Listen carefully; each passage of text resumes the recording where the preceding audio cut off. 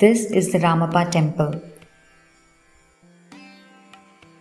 Situated in Palampet in Telangana, the 13th century Ramappa temple was recently inscribed as a UNESCO World Heritage Site.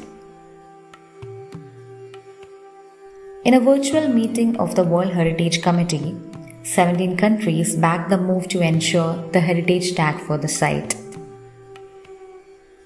The nomination for a World Heritage Site for the Ramappa Temple was made in 2014.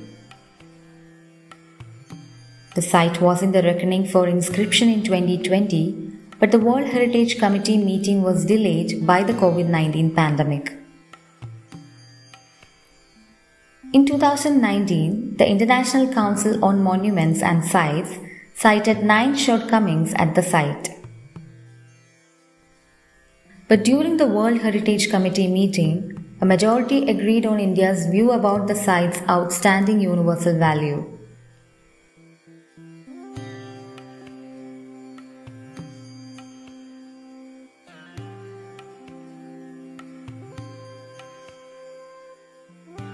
The Ramappa temple, also known as the Kakatiya Rudreshwara temple, was built in the interest of Racherla Senapati Rudraya, a general of Kakatiya king Ganapati Deva in the 13th century.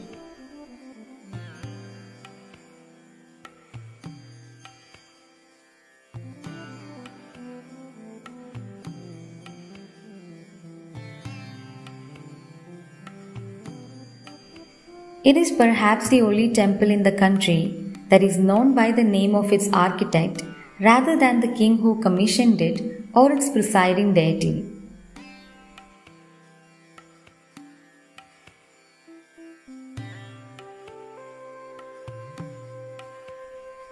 Located in Palampet, about 220 kilometers from Hyderabad, the main temple is flanked by the collapsed structures of the Kateshwaraya and Kameshwaraya temples.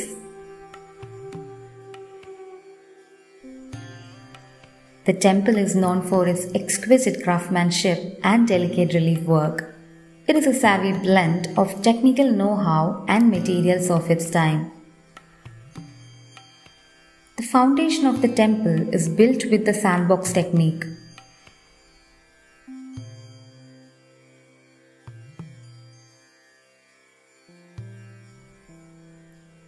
The flooring is granite and the pillars are made of basalt.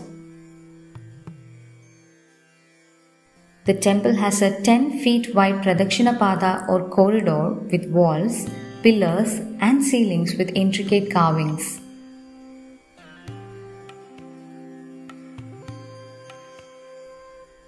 The lower part of the temple is red sandstone, while the white gopuram is built with light bricks that reportedly float on water. An inscription dates the temple to 1135 Samvatsaka on the 8th day of Magha or January 12, 1214. According to the temple priest, some of the iconography on the temple was damaged during the invasion of Malik Kafur in 1310.